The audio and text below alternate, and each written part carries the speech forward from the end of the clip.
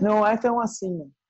É, bom, eu queria primeiro agradecer a Gabi, né? Primeiro a parceria nossa que deu super certo, que vem dando certo, e falar que a gente preparei uma coisa que é bem legal, acho que não só para os cães da, da ONG, né? Que a Gabi pode, o pessoal que trabalha aí e tal, e que tá, tá pretendendo integrar, dá para usar lá na ONG, né? Dá para ajudar muito eles antes de chegar na casa dos donos. E aí na casa dos donos, para quem é dono, né? Também consegue usar muito.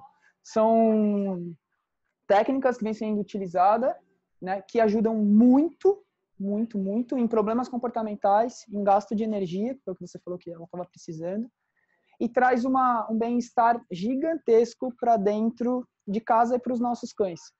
Eu vou me apresentar, talvez tenha gente que não me conheça. É, eu sou Rafa, né, Rafa Leixo. Eu sou adestrador e trabalho também com comportamento, comportamentalista tá? Sou fundador dessa empresa que vocês estão vendo aqui, a Dog Lion, nessa gigante aqui, né, no meu, no meu peito. E como a Gabi falou, eu tenho um programa de aulas que se chama Manual do Cão Ideal. Hoje nós somos em 1.362 alunos, se eu não me engano. 1.362 alunos. Eu tenho, um, faço parte de uma equipe que se chama Busca Pet, tem um programa na NetDeal.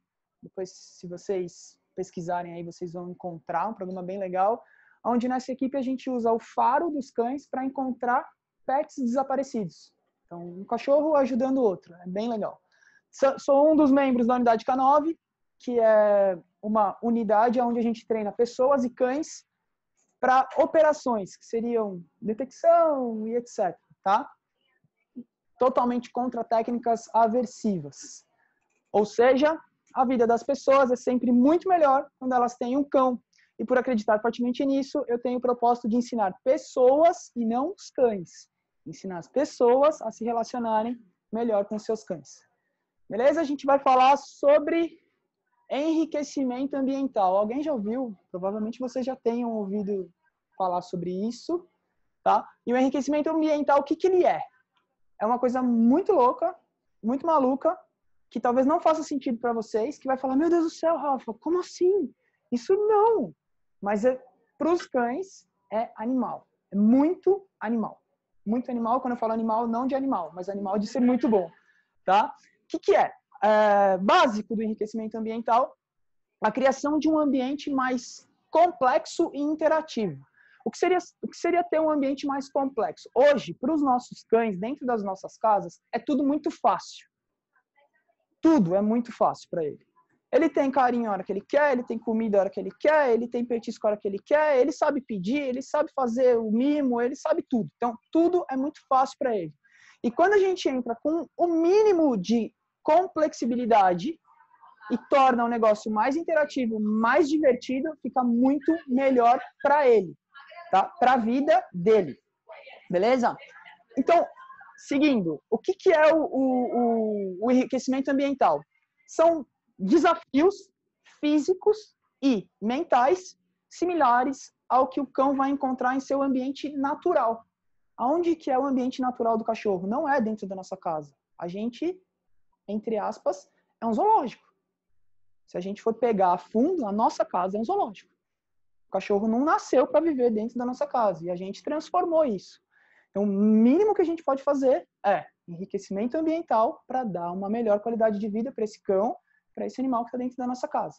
Tá bom? E como? Com flexibilidade, coisas interativas e desafios. Desafios é animal. Por que, que é animal? Por que, que é legal?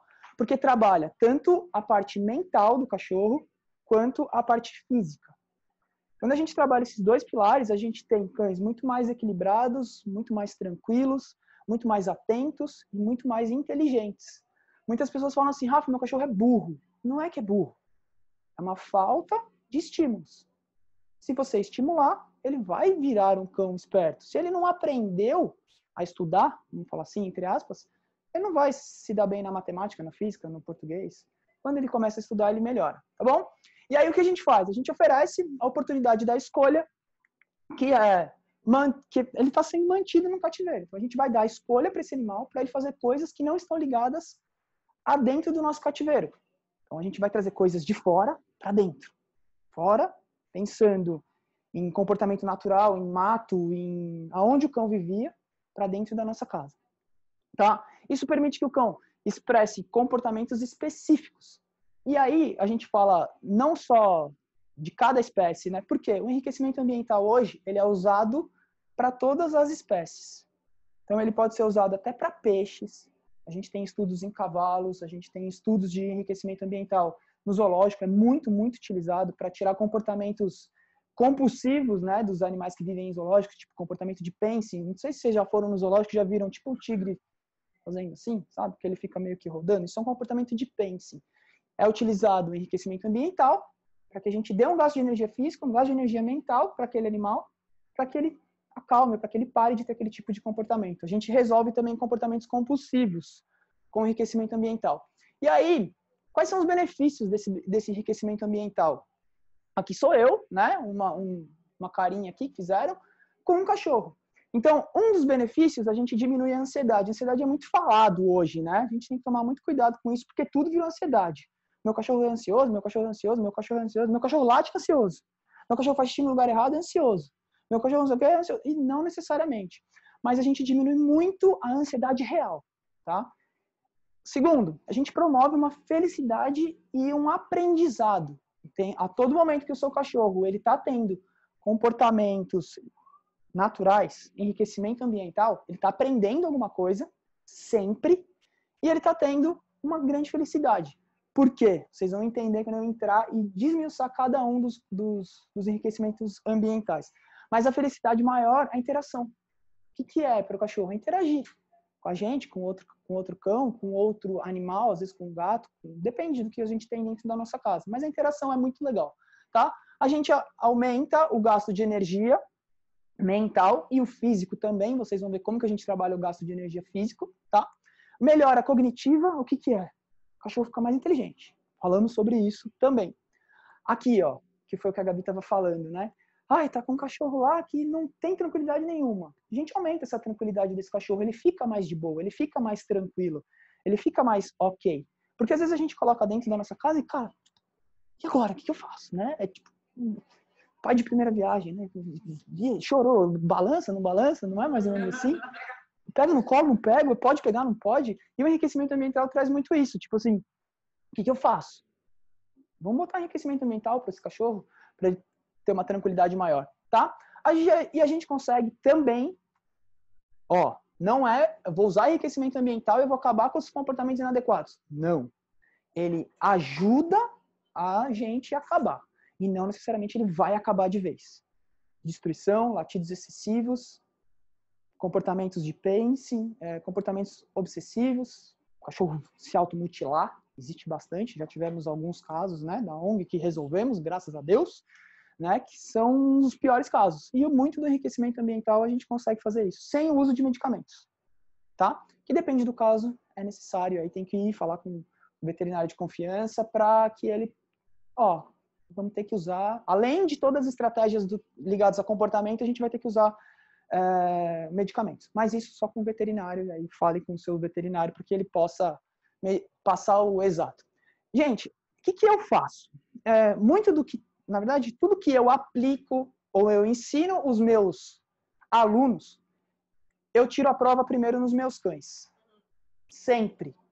E essa daqui é uma cachorra que ela mora comigo. Eu tenho outros cães que moram no sítio entre eles cães de raça e não de raça, adotados, é, é, é, resgatados, a gente tem cachorro de tudo lá, tá? E eu testo com eles para aplicar nos meus amigos, que são os meus alunos. Meus alunos viram meus amigos. A gente se fala todos os dias. Então eu faço sempre o teste, ó, faz isso que deu certo com X cães, aplica. Os estudos mostram que deu certo com X cães, eu apliquei nos meus cães e deu certo tá? E o enriquecimento, o primeiro, é, o enriquecimento ambiental ele é dividido em cinco, tá? O primeiro não necessariamente é o primeiro ou é o segundo, mas um deles é o enriquecimento ambiental alimentar, que é a oportunidade de procurar a caça de alimentos de diferentes maneiras, evitando a previsibilidade na hora da alimentação. Uma coisa básica: comida nunca disponível para o nosso cão. Nunca. Se essa, se é uma coisa que vocês têm aí na casa de vocês, ração 24 horas, é a primeira coisa que vocês têm que tirar. Por quê? Não tem oportunidade nenhuma de procura. Nenhuma. Ele sabe que está lá a todo momento. Quando eu tiver com fome, eu vou lá e eu como. Se você não tem o natural do cão, se você pegar cães estudos, cães ficam um dia inteiro sem comer. Rafa, como é que é isso? Um dia inteiro? Não, você não vai deixar, óbvio que não. Mas você coloca horários, assim como nós temos horários. Né? Não necessariamente são cravados. Sete horas eu estou comendo, oito horas eu estou comendo. Mas a gente tem horário. De manhã, de tarde e de noite. Tá? E aí você fala com o seu veterinário, ele vai te passar exatamente quanto o seu cão precisa comer, exatamente qual é a quantidade da refeição dele e qual o horário. A cada três horas, desculpa, três vezes ao dia se for um filhote, geralmente, duas vezes ao dia quando é um cão mais adulto, tá? Entre outras é, formas. E aí, uma outra coisa. O cachorro nosso tem prato, né? Vocês já perceberam isso? Faz sentido o cachorro tem prato? Não! Como assim o cachorro tem prato? O pote do cachorro é prato. Gente, não faz sentido nenhum o nosso cachorro ter prato. Por quê? Ele não tem procura, ele não tem caça, ele não tem um estímulo natural. O prato para o cachorro, você vai lá e coloca. Tá? Hoje, muita gente, muitos comportamentalistas, assim como eu, especialistas, treinadores, etc., já falam para os alunos assim: acabou o prato, acabou o pote. Tirem o pote e se virem para dar alimento para os cães de vocês.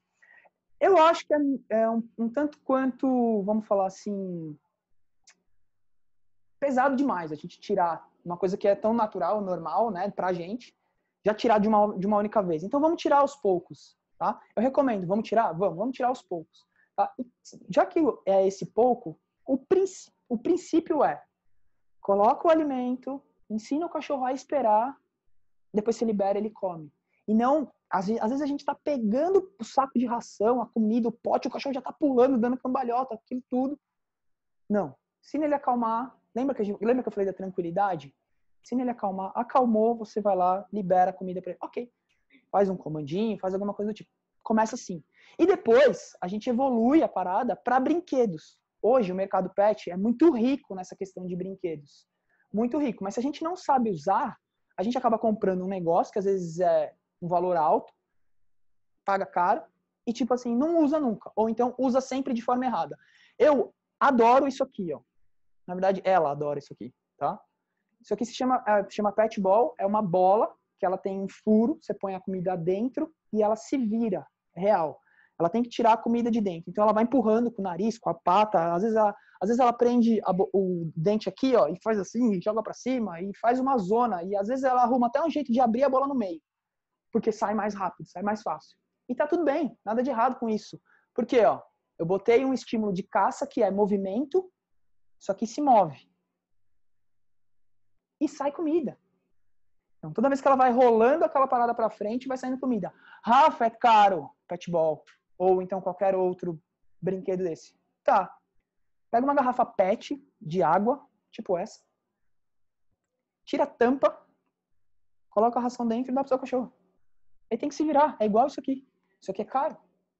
Quem não toma refrigerante hoje? Quem não toma água em garrafinha? Então não é desculpa, tá? Outras coisas que geram bastante enriquecimento ambiental, alimentar. Isso aqui se chama, é um monstrinho, na verdade, é... vamos lá, vou explicar mais ou menos o que, que ele é. É como se ele fosse um copo, tá? E aí você pode fazer diversas coisas, pasta, pasta de, de, de, de ração. Eu faço uma pasta de ração com os meus cães. Eu pego o liquidificador, boto a quantidade de. Eu faço bastante, porque eu tenho vários. Opa, eu tenho vários, aí eu deixo tudo pronto, tá? Mas você pode fazer unidade. Você pega a ração, põe água, põe no liquidificador, bate, depois você joga dentro disso aqui, tá? E aí depois você põe para congelar. Um dos horários de alimentação dela, ela pode comer aqui. Então, toda a comida dela vai ser dada enquanto ela trabalha o mental. Como é que eu faço para tirar essa comida de dentro? Aí ela vai lamber, ela vai roer, ela vai mastigar. Então lembra lá, vamos resolver comportamento inadequado? Primeira coisa, se eu falo que ela pode destruir isso aqui, Tá tudo bem, o cachorro tem que destruir. Mas o quê? O que você está apresentando para ele, o que você está dando para ele, o que você está mostrando para ele. Então eu uso isso aqui. Eu tenho vários, sei lá, cinco, seis. Aí eu vou, boto lá, que nem hoje, vou sair de casa. Cara, ao invés de eu sair e deixar minha casa, minha casa vira um ambiente pobre. vamos dizer assim, não pobre de valor, mas um ambiente pobre. Putz, eu não tô lá, eu sou o maior interesse dela. Eu não tô lá. O que, que eu faço? Ah, vou levantar o ambiente para você, ó. Tá vendo? Isso aqui é muito bom. Aí ela passa uma hora. Real, esse aqui ela demora uma hora. Eu tenho um maior, um maior que ela demora uma hora e meia. Uma hora e meia, entretida, lambendo, roendo, mastigando, chupando, dando cambalhota, fazendo o que for para tirar a comida de dentro. Mas lembra lá no começo que eu falei, comida nunca à vontade? Se tá à vontade, ela tem o porquê fazer isso?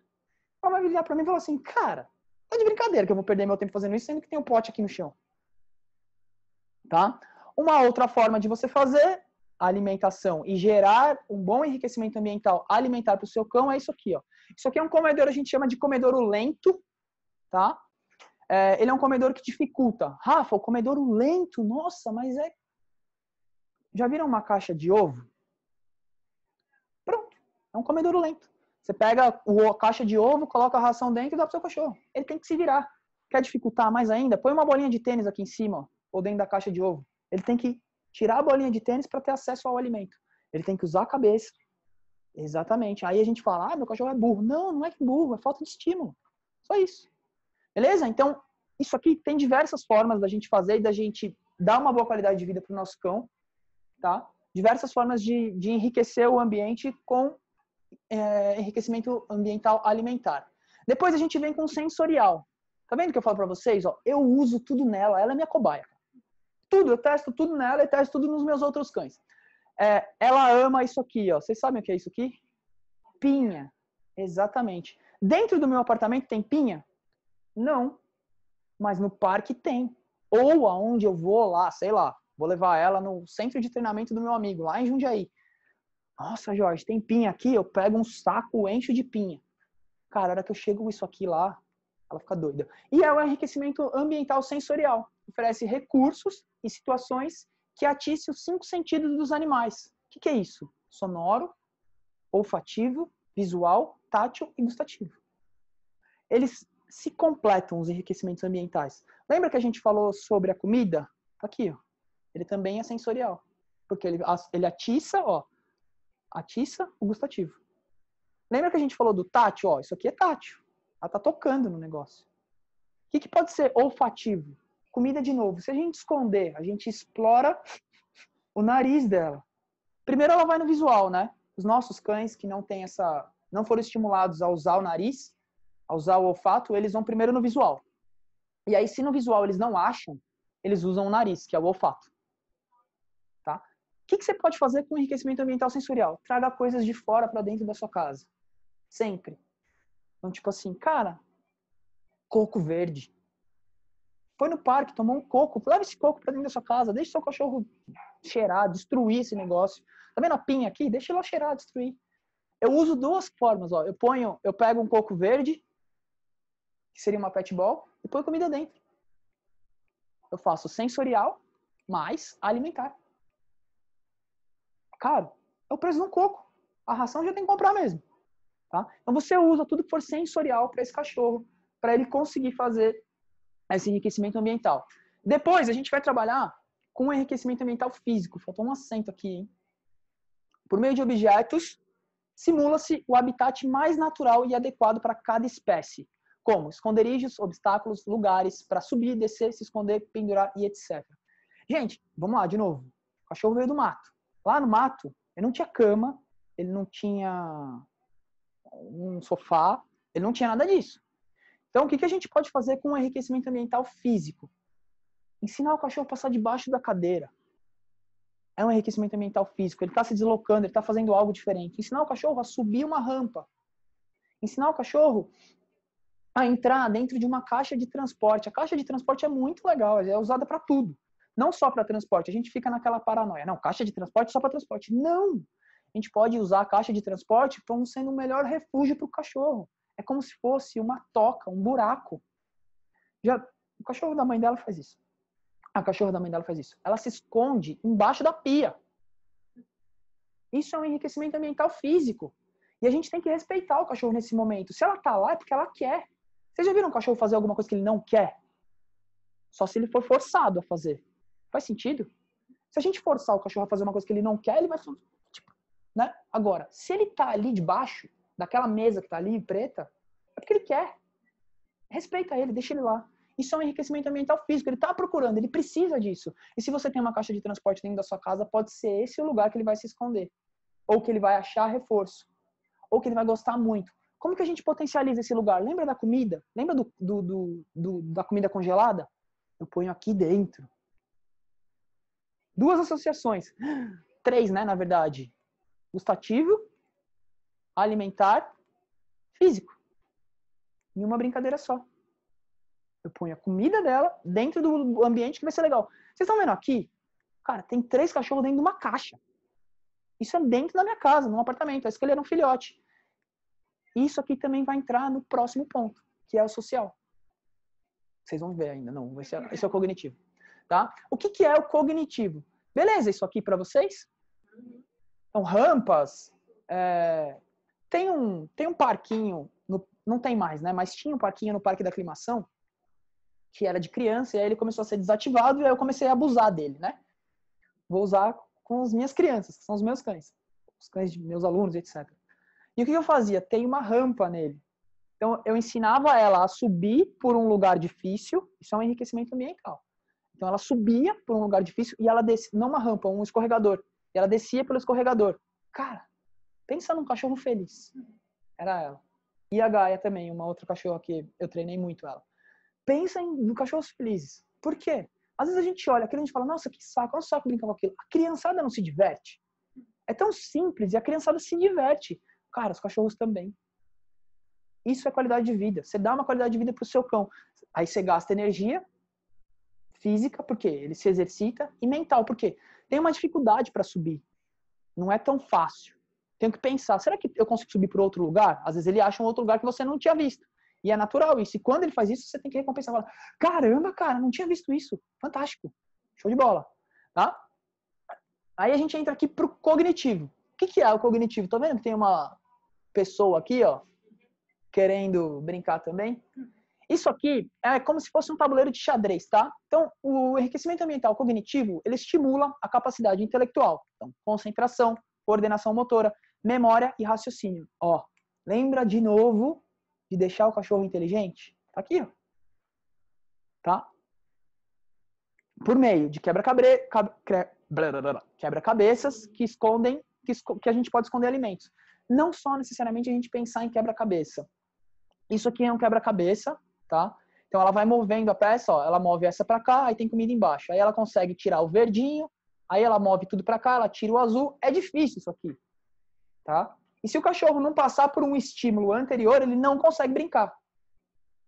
Como que a gente começa isso aqui? Você vai pegar uma caixa de papelão que não custa nada. Aí você vai lá no parque, você vai encher de folha, que também não custa nada. Aí você vai pegar a ração e vai jogar lá dentro. Você gastou quanto? Nada. Rafa, isso aqui é muito caro. É, tô te dando uma opção pra você fazer, sem gastar. Por que, que eu tenho isso? Cara, eu tenho porque eu preciso estimular os meus cachorros a isso. para falar para vocês como que vocês podem fazer. Mas não necessariamente você precisa disso. Talvez isso aqui é muito difícil para um cachorro iniciante. Para ele já não mais. Tem uns outros que estimulam a utilização da pata.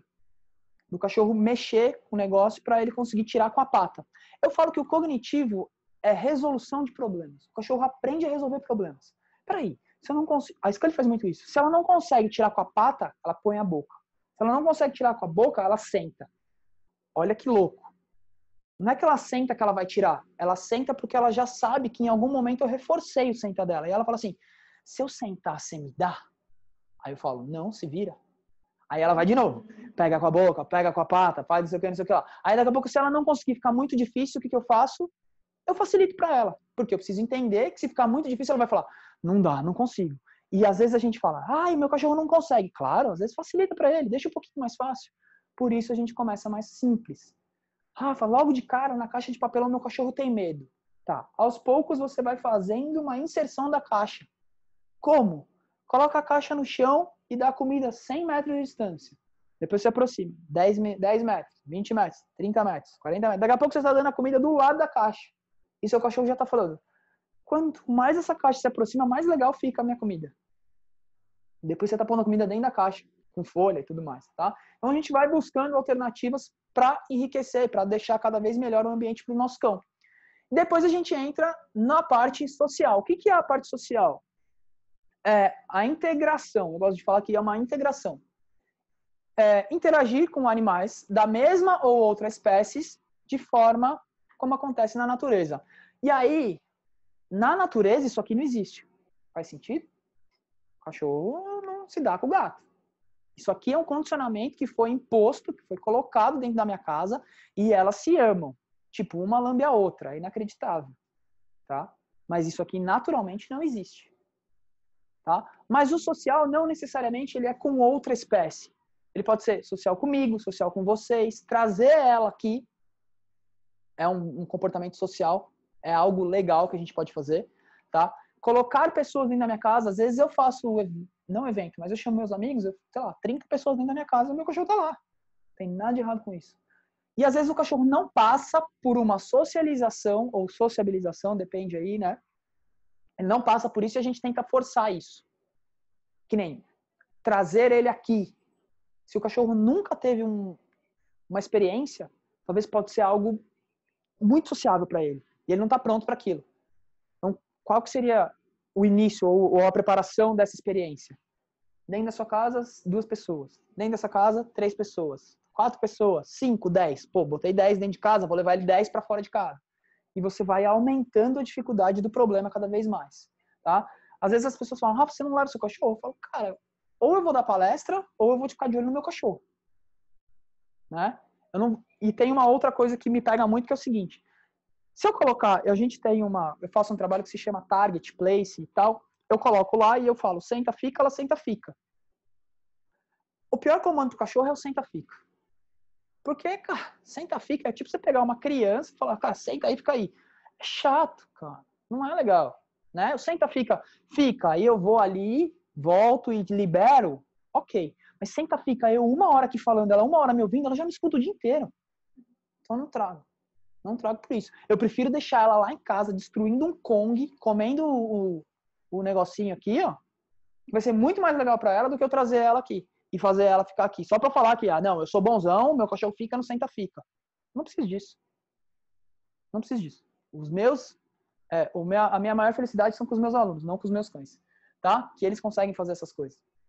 Beleza? Então a gente traz um enriquecimento ambiental para dentro da nossa, para dentro da nossa casa, para dentro do ambiente onde o nosso cachorro vive, para melhorar, para dar um bem-estar, para dar uma melhor qualidade de vida para eles. Beleza? E é, eu fiz essa parada bem rapidinho para a gente ficar aqui respondendo pergunta, tá? É, o negócio do manual do cão ideal e da, né, que a gente fala é transformar as vidas e melhorar as relações. E já são muitas vidas transformadas e relações construídas, né, que não tinham antes, com os meus minhas aulas aí, tá? Então a gente abre agora, tipo, se, não sei como é que tá aqui a galera aqui, se tiver perguntas sobre isso ou não sobre isso, também temos um time para isso e fica aqui a, a dica para vocês para melhorarem e enriquecerem o ambiente dentro da casa de vocês para dar uma melhor qualidade de vida para os nossos cães, que é se a gente está aqui e está assistindo isso aqui é porque a gente quer melhorar para eles, né? Nada melhor do que fazer isso de uma maneira estudada. E a, e a gente tem um projeto, né? Eu, a Gabi aí, que é colocar isso tudo aqui lá no sítio. Exatamente. é uma coisa importante até, porque o Rafa ele, ele, ele tinha, né? Quando ele tinha mais tempo ele, ele ia até o sítio fazer a nossa. Deixa eu ver, deu muita coisa pra ele agora. Pois é, mas ele que começou com essa história toda. A culpa, a culpa foi da Gabi. Na verdade, ele que começou a dar pano pra manga e a gente vai criando tem ideias. E lá no sítio, ele tem muito campo para trabalhar, são mais de. São, hoje são 104 animais, só que de cachorro são uns 89. E aí ele ia lá, ele mapeava os comportamentos e mapeava as matilhas. Então, tipo, a importância dele era deixar os animais juntos com o perfil correto e nos ajudar a mapear o perfil dos animais para a gente encontrar os adotantes o melhor possível, porque também tem isso, né? Não adianta a pessoa querer um cachorro de porte grande, ter uma vida que não casa com o que o animal precisa, e ele nos ajudava a fazer isso, porque né, é super importante alguém que conhece o perfil do animal. E aí, eu acho que a gente, na verdade, de fazer enriquecimento ambiental lá, é algo que a gente ainda acha que ainda pode melhorar muito. E, na verdade, a gente né, precisa trabalhar mesmo isso. Isso é um sonho que eu quero pôr em prática nesse ano de 2020. Ah, vamos fazer, vamos fazer. essa missão. É, na verdade, eu já, é, a gente faz esse trabalho, acho que foram quantos cães já que a gente já analisou? Foram, na primeira, a segunda vez eu me lembro que foram 59, 58, foi, um negócio assim. Foi, foi. É, e dá muito bom, né? O resultado é muito bom. É, o que eu chamo de match perfeito, né? O cachorro certo para a pessoa certa. Às vezes a gente ah, cara, essa, essa, essa cachorra aqui, é, a Scully, é, eu estudei dois anos para pegar ela. Então, tipo assim, não foi, ah, eu quero essa porque é bonitinha, dessa cor, não sei o que, não sei o que lá. Não. Foi, rolou um estudo. E todos os meus outros. A aparência é o que menos importa, na Tô cagando né? e andando pra aparência. É, e todos os. Exatamente. Né? Todos os meus outros cães, que são esses quatro, eles foram escolhidos é, pelos seus temperamentos. Tá? E a gente não pode descartar né, é, a inserção de raças dentro dos vira-latas. Isso é muito importante. Tipo, que todos eles são diferentes. Né? Cara, eles, por mais que sejam, tenho dois que são da mesma raça, eles são é, é, água e vinho. Completamente diferentes. Os meus vira-latas, né? Os vira-latas do sítio, os três que são irmãos, são irmãos, a mesma mãe, a mesma ninhada, o mesmo pai. Cada um tem uma personalidade. Um é igual ao pai, o outro é igual a mãe, e o outro é virado no girar, é macaco, doido, louco. E tipo assim, nada a ver. Nada a ver. É, o outro foi, o outro foi no carnaval, sabe? Um é janeiro, o outro é carnaval, o outro é, sei lá, frio. E tipo, nada. Nada. E falando aí sobre isso, a gente quando faz essa parada, né, de dar uma identificada, isso ajuda muito na hora da adoção. Porque você já tem um perfil do cão. Aí a gente tem que sugar, né? Fazer a outra parte, que é sugar o perfil do dono. Então, o que, que você faz? Você faz isso, você faz aquilo, você faz aquilo. Aí você fala, ah, tem esse aqui, ó. Aí, tum, tô. Então, isso é muito legal e a gente vai fazer. Eu vou... Eu vou fazer... Eu vou fazer uma parada que é um protocolo que, tipo assim, não necessariamente precisa de mim. Eu vou fazer... Prometo, deixa comigo que eu vou fazer. Boa. Vou fazer Boa. um protocolo... É, anota. Já tá aqui gravado. Ah, eu vou fazer. Eu tenho sobre isso, que eu acho que é importante. Todo cachorro precisa de enriquecimento mental. Todo. A todas as fases da vida. Porque eu fico pensando nas minhas veinhas lá, se isso é uma coisa que elas podem achar difícil demais. Acho que todo mundo tem esse medo, né? Tipo, todo, todo cachorro, todo cachorro, todo cachorro precisa e todo cachorro pode. Aí a gente tem que entender as dificuldades. Tipo assim, pô, a Gabi falou que, ah, minhas veinhas. Cara, se eu não vou botar uma rampa pra uma veinha, não, mas um brinquedo de comer. Mais um brinquedo de comer. Tipo esse aqui, ó. Aquele dos. Esse tipo aqui, esse aqui, ó. É, que é mais fácil. Que é, é tranquilo, não, ela não fica correndo, que nem. É. Exatamente. É, o monstrinho também, ou o Kong da, da, da Kong, também dá para usar. E tem é, para cada tipo de cachorro. O filhote é uma cor. Geralmente a gente encontra é o, o, vermelho. É. Não, não, não é o mais difícil. Não. O filhote é uma borracha mais macia. Sabe a borracha do chinelo? Sei é a mesma borracha do chinelo. Porque se você põe uma borracha muito grossa, é difícil pro filhote. Exato. Aí ele fala, ai, que negócio chato. Aí você põe uma borracha que é gostosa, ele, opa, isso aqui é legal. Aí você vai evoluindo as borrachas. A Scully tem uma... Salvando chinelos. Salvando, é, exatamente. Salvando chinelos. A Scully tem uma preta lá, que é o mais hard, o mais difícil, para ela não adianta. Ela não, ela não mastiga o preto, dela tem que ser o vermelho ou até um abaixo. Porque é ela. Agora, eu tenho o meu outro cão, cara, se eu botar o de ferro, ele vai, ele vai, tá? Então, o de adulto, o sênior, né, que é o vendido no mercado, se não me engano, ele é lilás. É uma cor lilás e ele pode ser dado. Ah, legal, mas legal saber que para todos eles é. Para todos eles é muito importante. E você tem que ir variando. Ah, isso é uma pergunta muito legal. Porque Os cachorros. Exatamente. Todo, nós somos. Todo mundo faz isso, é zona de conforto, na verdade. Nós somos neofílicos, né? Tipo assim, o que, que é? A gente gosta de novidade. iPhone 11, né? Ai, eu queria tanto. É novidade, a gente gosta da novidade. E os nossos cães também gostam de novidade. Então, apresenta, deixa ele brincar, come, deixa ele destruir, que nem isso aqui, né? É, pô, não dura meia hora. E graças a Deus que não dura meia hora, senão ela ia acabar com a minha casa. Vira uma é. bagunça, cara. Ela suja o chão inteiro. Mas tá tudo bem, ela fica feliz. É o que eu, é o que eu falo. Dane-se a minha casa, eu, meus cães estão felizes, ok. Né? né? Dane-se a minha casa, meus cães estão felizes. Outro dia a gente tomou uma chuva no parque da aclimação, eu e ela. Aí eu parei e falei, vou tirar uma foto. Ela tava, tipo, Felizão. mais, é. Eu falei, ah, foda-se a chuva, né? Mas é. Pode fazer, não tem crise, não tem crise, não tem. Varia o estilo. E varia. Acabou, guarda, tira, não deixa o cachorro ver, ou deixa ele ver, não tem problema. Talvez ele vai querer pedir mais. Acabou, tira. Brincou, tira. Eu faço em casa um rodízio de brinquedos. A Scully tem uma. Ela, os brinquedos até que duram com ela. Tá? Então eles são destruídos. A gente faz o Frankenstein, né? Na segunda-feira, aquelas remendadas, e troca. Então fica sete dias. Eu tenho alunos que trocam diariamente. E aí vai de cada cachorro. Tem cachorros que a gente precisa trocar todos os dias, tem cachorro tipo a Scully que aguenta sete dias. Aí eu faço uma mescla. Pelúcia com, com mordente, com corda, eh, com bolinha. Aí passou sete dias, geralmente eu faço isso no domingo. Eu tiro tudo, aí eu apresento novos. Então, sei lá, eu tenho uns 20 brinquedos, 30 brinquedos dela. E aí quando os dela começa a ficar zoado, bem zoado, que tipo assim, meu, ela não dá mais, ela nem brinca mais, tá chato pra ela, eu levo pro outro cachorro. Aí ele fala, nossa, Esse é novo. esse é novo. Sabe aquele brinquedo que a gente talvez jogaria fora? Não. Quanto mais destruído, mais remendado, o rabo do macaco tá na testa. Sabe aquele É. macaco? Quando eu já Ah. coloquei o rabo do macaco na testa, já fica. é, Aí o outro cachorro já fica doido. Nossa, adora. Ah, beleza, tal.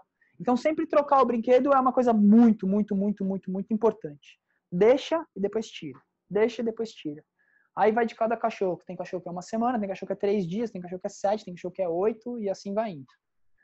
Beleza?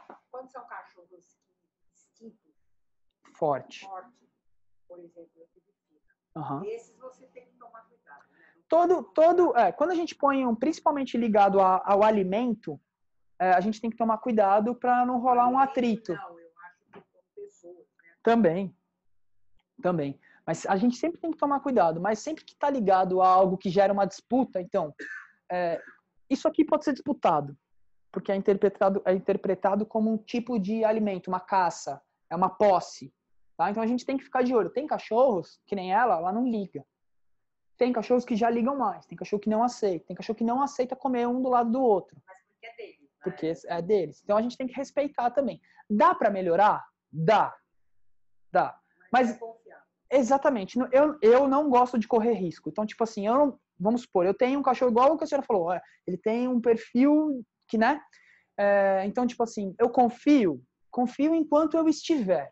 E a hora que eu virei as costas? O que, que vai dar? Eu não vou estar lá e, tipo assim, não sei. Então, eu prefiro evitar esse tipo de, de atrito. É, eu faço lá no, no, no- meu espaço, às vezes, a alimentação deles separados, para não rolar atrito.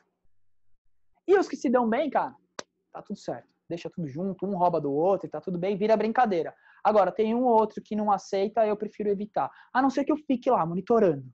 Ó, cuidado com isso. Aí eu vou monitorando, vou tirando. Aí tem alguém que começa a ficar muito, né? Que a gente fala que o drive aumenta muito, aí eu tiro. Acabou, perdeu. Não sabe brincar, perdeu. Aí no outro dia eu falo, não vou testar de novo. Vamos voltar pra lá. Dá pra fazer, dá pra melhorar, mas é aquele negócio. E se eu sair, vai dar bom? E se eu ficar, vou ter que ficar 24 horas olhando o cachorro, tá, não sei não. Separa, melhor. Tá? que mais? Tem mais alguma coisa aí? Pessoal que está online, se alguém quiser fazer uma pergunta, é só escrever aqui pra gente, tá? Boa. Eu tenho uma dúvida. O Pepino é o meu filho? Eu achei que ela ia falar, será que meu cachorro gosta de pepino? É que o Pepino, ele. Eu sinto que ele dorme muito, fala real. Tá, a Eu gente não tá. sinto que é normal. Tá. Quantos anos ele tem? Ele é um ano e pouco, quase dois. Tá, a gente tem que entender duas coisas. Uma, às vezes é o perfil, né? Tem cachorros que são mais tranquilos mesmo, mesmo nessa idade baixa, né? É, mas tem cachorros, tem cachorros que não. Então tem que. Eu levaria no veterinário, não sei se você já levou, faria um check-up total. Tipo, tudo tá zero, tá zero. Beleza. Então vamos começar com o enriquecimento ambiental. Eu posso falar um caso pessoal, né? O irmão da Scully, direto, o irmão, mesma ninhada, tava com esses sintomas. Tava começando a entrar num sobrepeso, não estava tendo uma rotina de atividades legal, não estava tendo zero enriquecimento ambiental dentro de casa. Tipo, a hora que eu apresentei isso aqui para eles, ele, Nossa, Rafa, nem imaginava que isso existia. E foi coisa de tipo uma semana. Uma semana o cachorro já pum, levantou. Entrou numa rotina de uma rotina alimentar, reduziu a alimentação, né? Tava comendo mais do que devia, reduziu a alimentação, é, entrou no, nesse processo, entrou no processo de passeios diários, a família virou é. Ela viu passeio. Que raça aqui é? Que raça que É vira-lata. Não, o engraçado do Pepino é que ele, ele, eu tenho ele mais três. E aí eles, ficam no quintal, aí às vezes eu abro e deixo eles entrarem em casa. Aí eu sei que quando eu chego, ele vai e deita. Tipo, ele fica quietinho. Ele, ele- quando ele me vê, ele, Ele é o vai mais e descansa. três? É. Ele Mas ele brinca o dia inteiro, eu acho, não sei. Então, era isso que eu ia falar. Eu não Se ver. ele tem outros cães e ele brinca o dia inteiro, a hora que você tá aí, fala, vou descansar, cara. Vai, agora que eu tenho paz. E às vezes ele também não Nada de errado. os outros são mais velhos, talvez. Às vezes, o- filhote tende a ser pior. O filhote tende a não respeitar. Essa é a grande É, verdade. O filhote tende a ser chato. Ele enche o saco o dia inteiro. né? Por isso. A hora que você chega, ele fala, cara, vou descansar. E aí ele nem me dá atenção, ele só dorme. E tá tudo bem, nada de errado com isso. Ele tá felizão, ele brincou o dia inteiro. Eu quero atenção, eu quero, dele é né? ver aqui dentro Ele brincou o dia inteiro. Ó, essa cachorra aqui, quando ela tá comigo, ela me ama. Quando ela tá com outros cães, Tá nem caga na minha cabeça, velho. Ele é real. Às vezes você. É. Às vezes, Às sucesso. Exatamente. Às vezes você fala, meu, cadê a Scully? Ela tá deitada embaixo de um lugar, não sei o que, não sei o que lá, e você chama, ela faz assim. Ah, não. Tipo, ela não liga mesmo pra mim, e tá tudo bem. Eu sinto que ela tá muito feliz por ela estar lá. Muito, muito, muito feliz. Ela adora isso. E a caixa de transporte também, se ela se eu tô com a caixa de transporte, se ela tá em casa, cadê a Scully? Aí às vezes a gente fica, né? Ela é muito independente, essa cachorra. Às vezes a gente chega em casa e ela tá no, ela deita no sofá, não tem problema nenhum com isso. Ela deita no sofá e a gente chega em casa, né? Aí ela foi tão treinada a não ficar maluca ao chegar, ela levanta, olha assim de lado, tipo, chegaram. Rafa, isso é legal falar também. Então, não acender muito quando o dono. Porque enriquecimento ambiental é diferente você botar fogo no cachorro em casa. Exato. Porque não é que você não quer, a gente não quer isso, casa esteja sinônimo de agitação máxima, porque senão é ingerenciável. Você pode falar, fazer, acender o cachorro fora de casa, né? Assim que. Exato. É, uma coisa que acontece muito que as pessoas fazem é o gatilho, né? Tipo assim, qual que é o gatilho do cachorro? Que nem o seu caso é o gatilho, o gatilho do, do descanso. Mas geralmente, no seu caso, os cachorros aumentam ou pioram o comportamento quando o dono chega. Então é isso Porque eu te- é o contrário. Aí eu Agradece a Deus. Eu ia começar a latir. Eu É. chego em casa e começo a é já fui vizinho, sei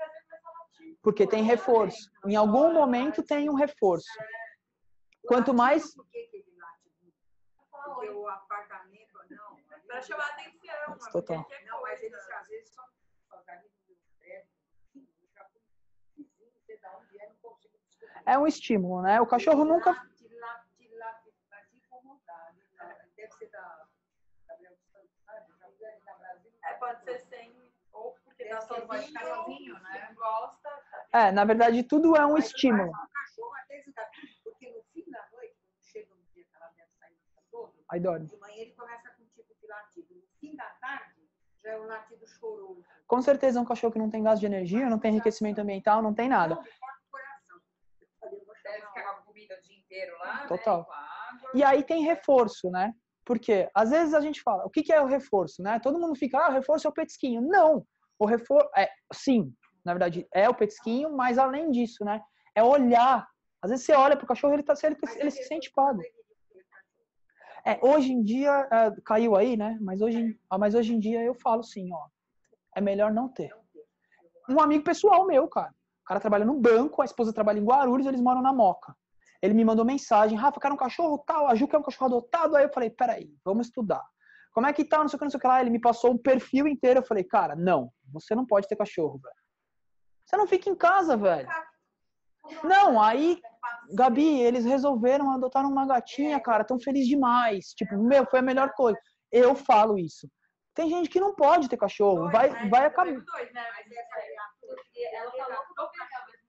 Hum, de total. tá. E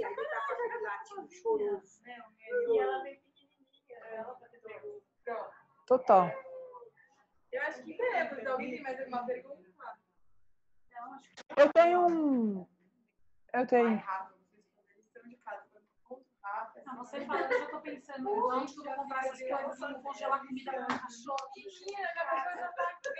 Cara, você vai ver, você vai ver. Tipo, é muito. Que nem o saco de ração, que nem você tá falando, ah, minha cachorra tá ganhando peso, não sei o quê. O saco de ração, ele tem escrito a quantidade. A gente que é. A gente que não olha, né? Exato. E outra coisa que é muito, que é muito uma coisa que a gente olha. Ah, vamos olhar como uma criança. Não, muda a ótica. Muda a ótica. É, nada a ver. Se você der a mais, sim. É. Hum, Depende muito. A ração, uma coisa que a gente fala é o seguinte: quanto mais cara, sem interesse comercial, quanto mais caro a ração, menos você gasta. Por quê? Ela, ela tem mais nutrientes, ela, a quantidade da- que você vai ter que dar é menor. Então, ao invés de você dar, sei lá, 180 gramas, você tem que dar 150. O- as fezes do animal, elas tendem a ser mais sequinhas, mais durinhas. Então, quanto mais, pior. Quanto mais cara, quanto mais cara, melhor. Aí a gente fala, nossa, mas vou pagar 200 pau de ração? Melhor do que você ter que comprar três. Geralmente a porção é menor. Geralmente, a porção é menor. Geralmente a porção é bem menor. Bem, bem menor. Negra, Mara. Foi muito bom, obrigada. Beleza? Acho que é isso, dá pra ajudar vocês aí. Você tem compromisso gravado. Não, mas eu faço, cara. É, esse ano. Né? E a Maralice vai começar a ir no sítio com a minha mãe, ou seja, você tem uma, uma, um compromisso e uma testemunha. Mas pode falar pra ela que o sítio é legal, que os filhos não pedem Não, é excelente. Sinta tranquila. Esse ano eu vou, a gente vai. Esse ano vai. Botamos a casa em, em dia e vai dar tudo mais certo. Obrigada. Boa, show de bola. Obrigada, Rafa. É, pois é. Vamos tirar uma foto lá fora? Vamos. Rafael, se você olhar o cachorro